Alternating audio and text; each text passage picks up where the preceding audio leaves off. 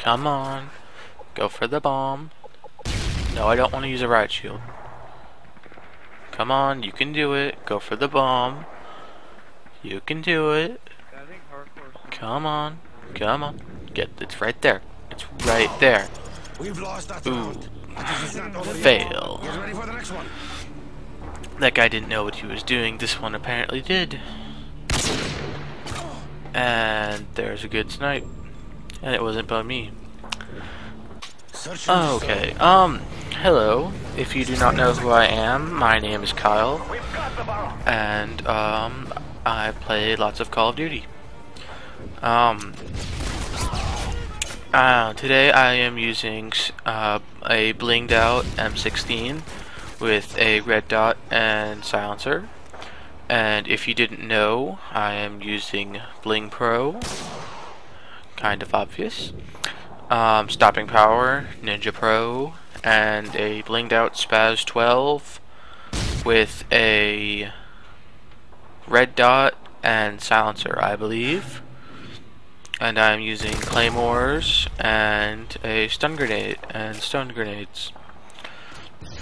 Okay, um, in this video I'm going to be mostly talking about the uh, M16 red dot sights and uh, holographic sights.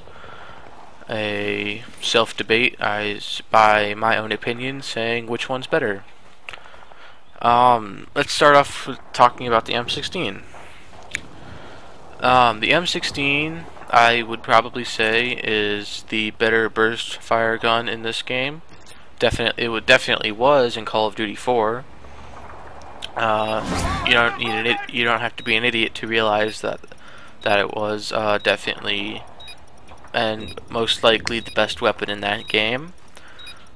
Um, in Call of Duty 4 it was basically the M16 and whatever forget what the name of the first sniper rifle is. I know it's the, the second one's the R700. I just can't remember the name of the other one. Um and and um, I'm actually going to talk about really quick uh, the FAMAS versus the M16. Uh, the they both do have their ups and downs. The FAMAS uh, strong point is that it has. Ooh, is an epic fail right there. The FAMAS's strong point is that it has a a very good or a very fast rate of fire, while the M16 has a slow. Um, I'm not going to say slow, but slower rate of fire. Uh, the FAMAS is downside to. Uh, its downside is the fact that it does less damage, uh, bullet per bullet. So it takes, if you're gonna miss a full burst into a person, uh, it's most likely, you're most likely going to have, uh, you probably can get the second burst out and possibly kill the person, because it shoots very fast. But, um, All up to you now. We're if you don't get all three bullets into it, the person is probably not going to kill them, unless it's in their head, which it would always kill them.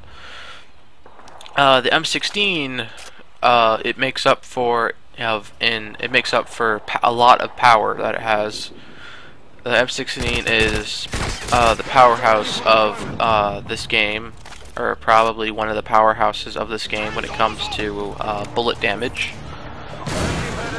Um, uh, M16 has does have a slower rate of fire, so the only problem that it would have is you may not be able to get the full burst out if somebody's using like an I don't know some random submachine gun or something like that.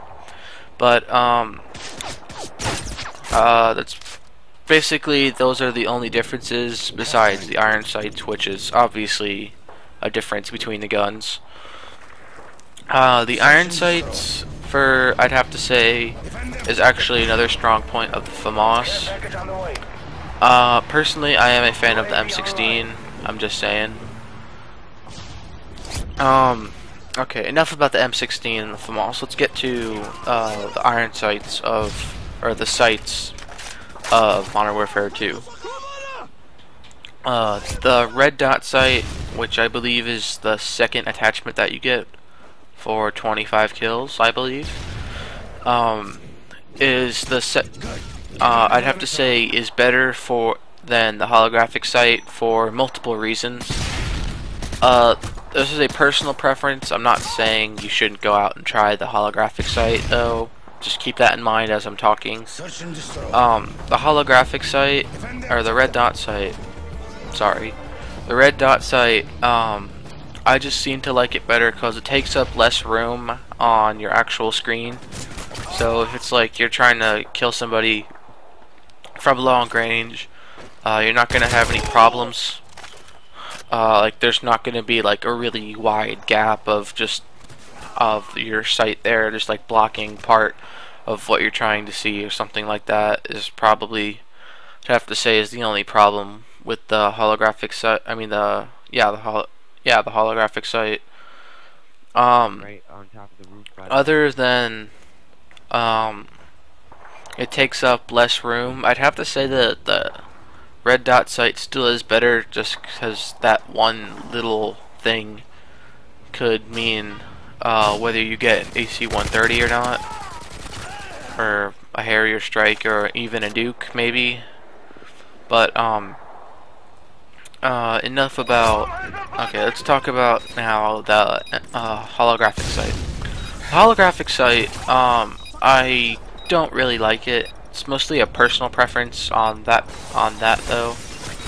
Um, why I don't like it? It's just I think it's ugly. Don't hate, don't spam hate comments about this. I do think it's ugly. Um, I don't really like it, or I just don't like the actual thing itself, just in general, even. Um, a good thing I have heard about it though, which I'm not sure if it's true or not, is that it has a slight auto aim to it.